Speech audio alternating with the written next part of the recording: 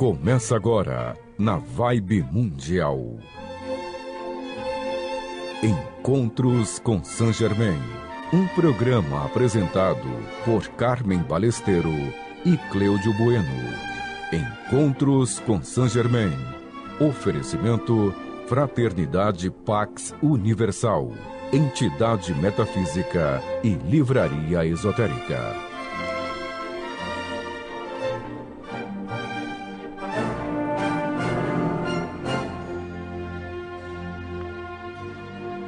Querido amigo e ouvinte da Vibe Mundial. Começamos mais um programa nas bênçãos de todos os seres de luz. Eu sou Carmen Balesteiro. Eu sou Cleudio Bueno. E juntos vamos orar a grande invocação. Do, do ponto, de luz, na mente de Deus, Deus que, que flua a luz das mentes dos homens e que, a luz dessa terra. terra. Do ponto, do ponto de, amor no coração de Deus, que flua amor aos corações dos homens e Cristo, Cristo retorne, retorne à terra do centro, do centro onde, a vontade de Deus, é conhecida, que o propósito guia as pequenas vontades dos homens, o propósito que os mestres conhecem e servem. Do centro a que chamamos a raça dos homens, que se realize o plano de amor e de luz, e feche a porta onde se encontra o mal. Que a luz, o amor e o poder restabeleçam o plano divino sobre a terra hoje e por toda, e por toda a eternidade. eternidade. Amém. Amém. E queridos amigos, estamos iniciando o ano de 2021 com muitas irradiações, com muitas bênçãos, com muitas novidades. E nós sabemos que nossas realidades são criadas pelo nosso pensamento, pelo nosso sentimento e por nossas escolhas. Então, por gentileza, vamos escolher a saúde, o amor, a fraternidade, o equilíbrio, a leveza, a alegria, abundância e a paz. Vamos às lições de hoje, né, Bueno? Verdade, Carme. E como sempre, nós começamos com ele, Paramahansa Yogananda. Esse ser de luz maravilhoso que veio de lá do Oriente para o Ocidente e que nos trouxe também o yoga, através da toda a sua experiência, através de todo o seu caminho e a sua sabedoria. Hoje nós estaremos iniciando um novo capítulo o capítulo que se chama O Relacionamento Guru-Discípulo. Na lição de hoje, então, ele nos falam o seguinte: os mestres, os bons pastores deste mundo, descem de seus altos planos espirituais e dedicam suas vidas à busca de discípulos que estão perdidos nas trevas. Eles os encontram em lugares desolados e perigosos.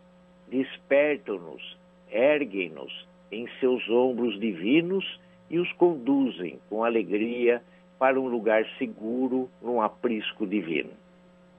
Eles os nutrem com o alimento celestial e lhes dão para beber a água vivificante, de tal forma que se o homem comer desse alimento e beber dessa água, viverá para sempre. Ele lhes dão a força para se tornarem filhos de Deus. Eles dão suas próprias vidas até a última grama de carne, até a última gota de sangue, para a redenção das ovelhas que atendem ao seu chamado. Falou assim para Mahansa Yogananda. Outro ser que nós acompanhamos de perto é Mahatma Gandhi, que também é da Índia e que, através da sua filosofia de não violência, levou o seu país à liberdade junto ao Império Britânico. Na lição de hoje, ele nos diz o seguinte: uma civilização é julgada pelo tratamento que dispensa às minorias, disse Mahatma Gandhi. E os nossos irmãos índios norte-americanos, esses seres maravilhosos que, através da sua inspiração, conseguiram ver a natureza através dos olhos do coração e nos deixar as suas lições, os seus provérbios e tudo aquilo que hoje nos traz a uma vida mais prática. Lembrando que nesse começo de ano nós estamos fazendo o Código de Ética dos Índios Americanos, que na verdade são 20 princípios de sabedoria que podem ser aplicados em toda a nossa vida. Hoje nós falaremos sobre esse segundo princípio. Seja tolerante com aqueles que estão perdidos no caminho. A ignorância, o convencimento, a raiva, os ciúmes e a avareza nascem quando a alma se perde. Ore para aqueles que encontrem a sua verdadeira orientação. Falou assim os nossos irmãos índios norte-americanos. Lembrando ainda que os templos planetários continuam abertos nesse período e que vão até meados de janeiro. Esse templo aberto é o templo da precipitação, do hierofante mestre Confúcio. A chama é verde, com raios dourados. A virtude é a precipitação, a força criadora e a veneração pela vida. A música é a estrela vespertina da ópera de Tannhauser e Wagner. Outro templo que está aberto é o templo solar, que nesse período que também vai até meados de janeiro, é o templo do discernimento, da discrição e intuição divina. A hierofante é Palas Atena, a chama é a verde dourada e as virtudes é o discernimento e intuição. A música é a Sinfonia 41 do primeiro movimento de Mozart. Pois é, e a gente, nós estamos aqui em festa, né? Esse final de semana, para nós da Pax, é muito significativo e muito especial. Amanhã, dia 10 de janeiro, nós celebramos 30 anos da inauguração da sede física da Pax, lá na Avenida Brasleme. A Pax está fechada esses dias, nós vamos reabrir no outro final de semana, no dia 17, tem o Ritual da Prosperidade. Vocês podem pegar mais informações no nosso site. Mas o trabalho da Pax existe há 40 anos, e 10 anos foi aqui em casa, e depois, há 30 anos, nós estamos lá na Brasleme recebendo as pessoas. E por conta da pandemia e do isolamento social, desde março do ano passado, nós temos rezado diariamente nas mídias sociais, simultaneamente. Às 15 horas todo dia, eu estou recebendo o plano espiritual e fazendo meditações no Face, no Instagram e no YouTube. E eu quero também agradecer à Rádio Mundial, que faz parte da nossa história, e agora a Rádio Vibe Mundial, a rádio que toca a sua vida. Bueno e eu estamos aí há 25 anos e estamos juntos, começamos lá no edifício São José, na Rua da Consolação, antes de ir para a Paulista, ainda na, na esquina da, da, Augusta com a Paulista ali. E, enfim, é uma longa história. Então, é momento de celebração, é um momento de transformação. As orações aconteciam aqui em casa pela paz e cura na Mãe Terra. E aí, na última oração de 1989, Mestre Saint Germain falou em dezembro é, ele deu 10 dias para nós procurarmos um imóvel, porque ele falou que ele não queria mais as orações aqui na casa da família. Ele queria num outro lugar para poder receber o público, porque nós iríamos começar a atender as pessoas com câncer, com AIDS, etc., já que eu havia trabalhado voluntariamente com a Luiz Rey durante sete meses em Los Angeles, e para não misturar a energia de pessoas que não estavam bem com aquilo que era a casa da família. Então, em 10 dias, nós arrumamos um imóvel aqui pertinho, ali na Brasleme, perto da casa aqui dos meus pais. E só que a, a casa era marrom. E São Germain queria uma casa pintada de roxa. E em 1990 não existia tinta roxa, né? Então a minha irmã mais nova, a Cláudia, comprou lá, a gente, nós compramos as tintas vermelha, azul e branca, misturamos até ficar na cor que o mestre queria. Então, um pintor, a minha família, meus pais, meu pai, minha mãe, eu, minhas irmãs e alguns voluntários, pintamos a casa lá na Brasileira, 30 anos atrás. E preparamos tudo para poder receber as pessoas e graças a Deus estamos lá ainda com a nossa sede. Apesar desse, desse ano passado, em 2020, ela ficou mais fechada do que aberta, mas a sede está lá fisicamente como um foco de luz do bem-amado mestre Saint Germain para o Brasil e para a nossa bem-amada Mãe Terra. Então vamos celebrar a vida e vamos continuar nessa energia, na força do amor. O Bueno estava lá na inauguração, né, Buenítio? Então, Carmen, Na verdade, não foi em 89, na verdade foi em 90. Em no... Não, né? eu sei, a última oração de dezembro de 89, San Germain pediu para a gente abrir uma casa em 10 de janeiro de 90. Nós tivemos 10 dias para arrumar o imóvel, pintar e deixar pronto para receber o público. Tudo a toque de caixa, como ele adora fazer no último minuto. E sair todo mundo correndo para tentar manifestar. Então, mas se nós estamos fazendo, na verdade, 30 anos amanhã, e nós estamos em 2021, na verdade, isso tudo aconteceu em 90. Ah, em 90, é, e depois foi em 91. É Sorry, eu não sou muito isso, boa com números. Isso, tudo aconteceu exatamente em 90, porque eu estava na casa no dia dessa oração, aonde todos nós também nos surpreendemos, porque nós estávamos acostumados a, a ouvir as orações e as mensagens lá no salão, né? Que continua sendo o salão onde você trabalha, onde você faz toda a atividade da Pax e é o plano espiritual. E nós todos estávamos no salão. O salão estava cheio, como sempre aconteceu às quintas-feiras. E todos nós nos surpreendemos. Em pouco tempo, em pouco tempo, e sem saber como isso ia ser realizado, na vistoria que estava sendo feita no bairro para achar essa casa, de repente a casa que estava disponível era justamente na Avenida Brasleme, 1353 naquela oportunidade. E foi feito todos os preparativos, como você disse, foi pintada a casa num tempo recorde, e exatamente no dia 10 de janeiro a casa foi aberta para que tivesse um dia todinho feito através de orações, de hora em hora, como o público era muito grande, todos nós estávamos todos vestidos de branco, era uma multidão de branca. A Brasleme não era o que é hoje, é bom que se diga, não existia nem essa ilha que hoje tem na Brasleme, que separam as pistas, era tudo de terra, era uma coisa assim meio escura ainda, mas durante o dia todo foram feitas orações diretamente no altar principal da casa, nós estávamos presentes.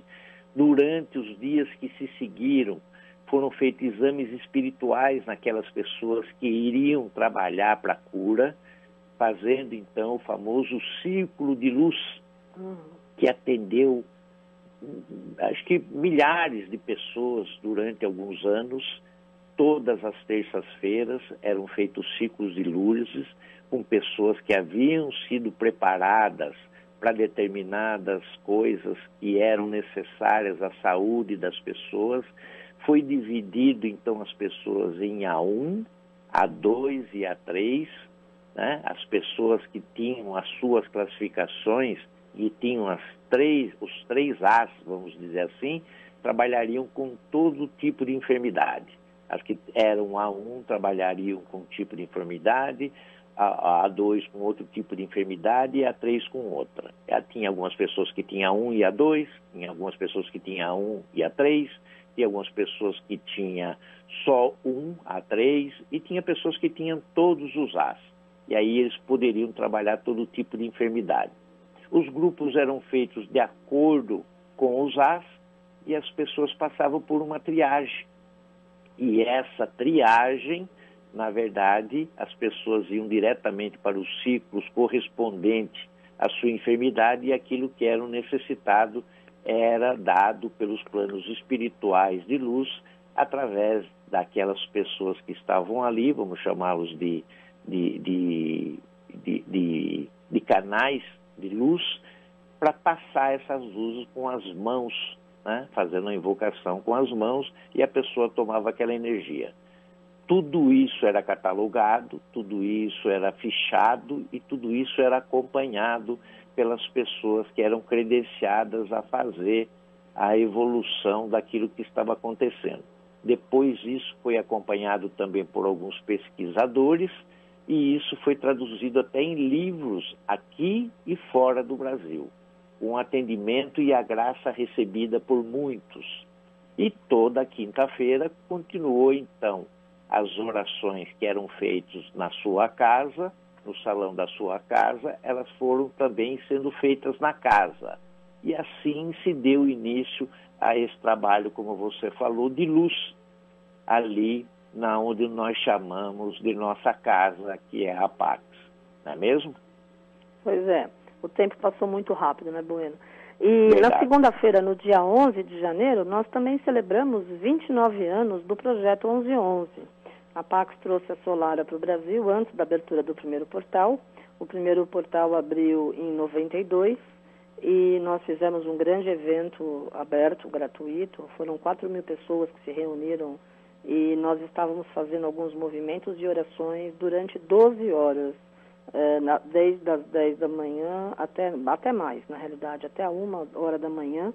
E nós tivemos toda a imprensa que apareceu lá voluntariamente, todos os principais canais de TV, na época não existia TV a cabo, os principais canais de TV e os jornais e todas as pessoas foram convocadas por essa energia de luz, né? O projeto 1111 é uma alavanca pré-codificada que está dentro da nossa memória celular.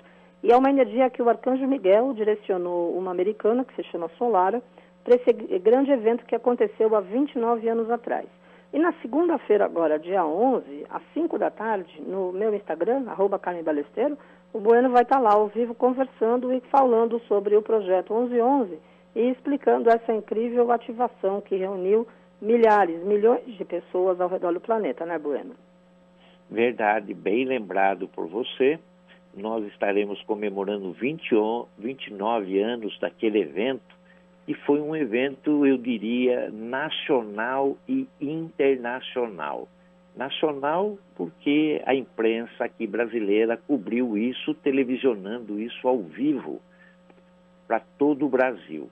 Né? Nós lembramos também do nosso querido, estimado e, amado Goulart, que nos Sim. deu toda essa abertura através da imprensa visual, escrita e auditiva, que nos formulou essa abertura de todo o trabalho que vinha sendo feito na Pax.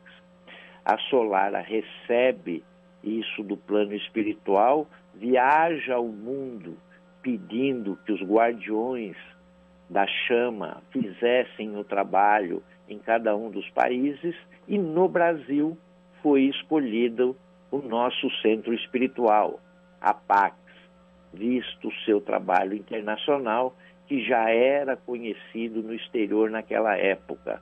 Né? Como você bem falou, não tinha né, televisão a cabo. Eu diria que não tinha nada. A única coisa que existia naquela época ainda era o fax né, porque nós não tínhamos telefone celular, nós não tínhamos tecnologia à nossa disposição.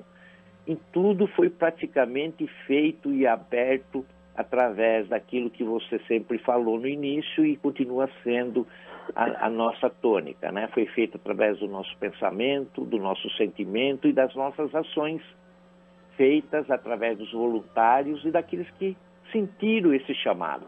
E foi uma outra multidão.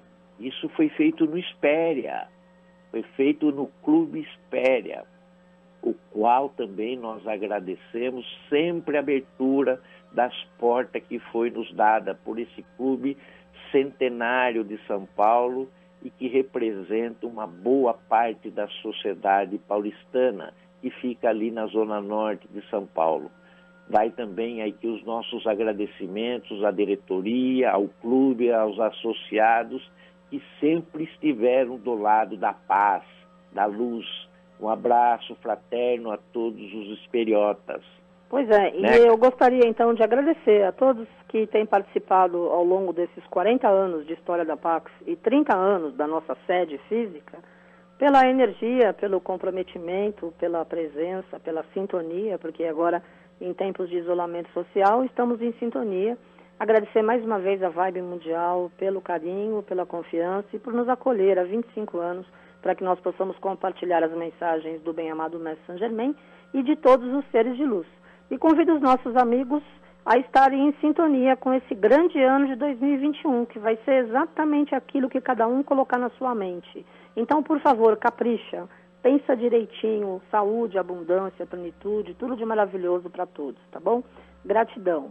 Quero agradecer a dona Lucia, a Miriam Morato, a toda a direção da rádio, a todos os operadores de som, aos comunicadores e a todos os amigos que fazem o que é a Vibe Mundial toque novos corações e continue tocando a vida de muitas pessoas no Brasil e no mundo, como sempre fez ao longo da sua história, na área da espiritualidade. A única rádio espiritualista do nosso amado Brasil, Berço Novo Milênio, que tem uma programação intensa nessa energia, pioneira na realidade, nessa energia de manifestações. Nossa gratidão, né, Bueno?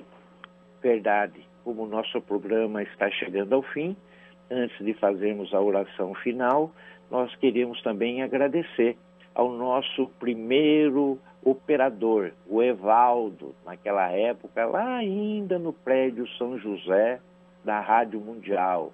Hoje, a Viber Mundial, nós agradecemos o operador Donizete, que esteve com a gente. Então, o primeiro e o último a estar aqui com a gente nesse aniversário dos 30 anos da nossa sede física.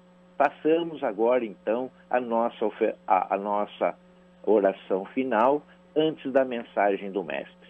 Ó Todo-Poderoso presente em nossos corações, ó bem-amado Mestre querido Saint Germain, secai-nos com a vossa luz e que ela seja tão forte que nos torne invisível a toda força maléfica que tente nos atacar.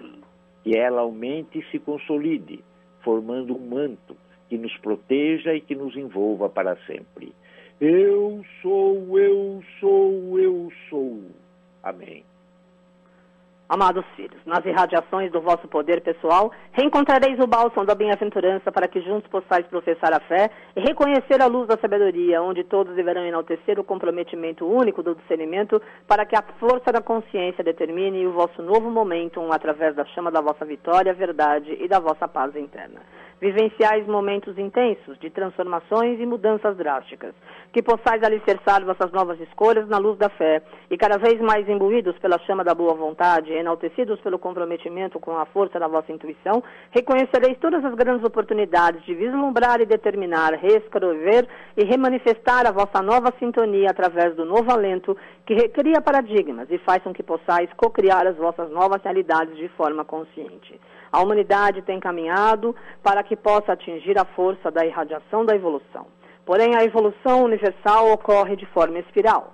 E as espirais de evolução têm transmutado toda a irradiação de limite, dor e sofrimento para que todos os seres humanos encarnados permaneçam cada vez mais centrados na luz da sabedoria e reconheçam as grandes oportunidades de fé e, através da luz do propósito, possam fazer valer as energias maiores que trazem a tenacidade e o discernimento através da chama da paz na luz do eterno agora.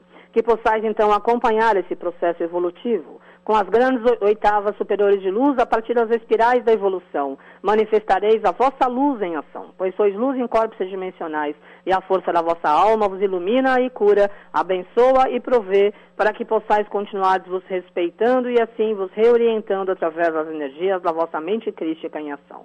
Visualizeis à vossa frente o plano Terra na chama verde da cura, dourada de uma nova consciência, violeta da transmutação e branco da paz, para que todos os seres reencontrem o caminho rumo à vitória na iluminação. Que possais elevar vossas mãos para o alto neste momento. Em nome e por bem de todos os seres, reativamos os vossos chakras das mãos para que possais abençoar e curar e fortalecer a vossa vitória na luz da abundância e plenitude, autocura e a vossa paz individual e planetária que possais colocar a mão direita sobre os vossos corações e a mão esquerda acima da vossa mão direita. E em nome e no poder de todos os seres, reativamos a vossa graça matrina em vossos corações. Na presença do Pai, Filho e Espírito Santo em vós para que no poder da fé, determinação, vontade divina, iluminação, sabedoria, consciência, discernimento e amor incondicional, possais protagonizar o vosso novo caminho através da energia que vos traz a sabedoria ancestral que retorna, para que na chama do eterno agora possais reaproveitar todas as grandes oportunidades e aberturas de caminho, para que a paz e a plenitude sejam uma realidade rapidamente sobre todos vós. Visualizei através do vosso chakra frontal um grande caudal de luz que se dirige a todos os dirigentes governamentais do Brasil, desse novo milênio e da vossa bem-amada Mãe Terra. Visualizei através do vosso chakra frontal um grande caudal de luz verde esmeralda a todos os hospitais, a todos aqueles que não têm um leito, a todos os doentes físicos, mentais, espirituais, astrais, que todas as forças sejam transmutadas no nome da luz, para que todos reconheçam, através do resplandecer de uma nova egrégora, o fortalecimento único do livre-arbítrio, a sintonia que traz o reequilíbrio e a luz da maestria, onde juntos devereis manifestar a força da vossa própria saúde, mente renovada, em nome da paz. Agradecemos vossas sintonias e vossos agradecimentos e que possais protagonizar o vosso novo tempo de renascimento a cada instante de vossas evoluções nesse excelso ano de 2021 que se inicia. Retiramos neste momento membros da Gangue Universal, derramando sobre todos vós as bênçãos de paz, amor e harmonia, para que juntos possais professar o amor incondicional através da vossa luz interna. Amor e luz, eu sou São Germain.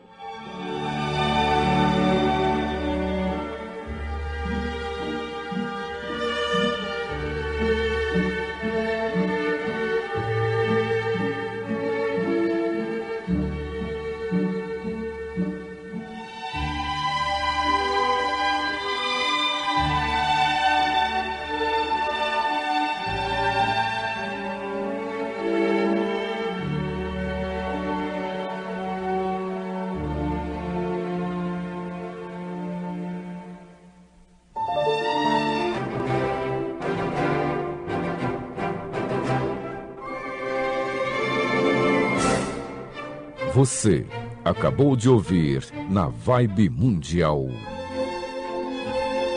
Encontros com Saint Germain.